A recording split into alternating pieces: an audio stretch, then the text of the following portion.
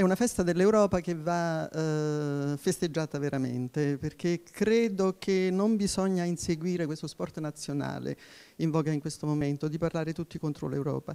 Ci sono problemi eh, veri e sono seri. Eh, L'Europa ha ricevuto il Nobel per la pace nel 2012 per la pace che ha realizzato in Europa. Il compito dell'Europa è quello di realizzare anche la pace eh, internazionale, la pace nel mondo, quindi deve migliorare il rapporto anche con, con il mondo eh, intero ma ci sono anche altri problemi da affrontare. Eh, io credo che non si possa tornare indietro, bisogna correggere i difetti, ma non bisogna negare quello che è stato il processo lungo, faticoso e anche vantaggioso eh, di questi anni. Noi non avremmo migliorato le scuole se non avessimo avuto i fondi europei, non avremmo messo in movimento tutta la popolazione scolastica se non avessimo avuto i progetti europei eh, Erasmus, eh, Comenius, lo stesso progetto Leonardo per la formazione professionale e per eh, l'educazione mm, permanente, l'educazione degli adulti.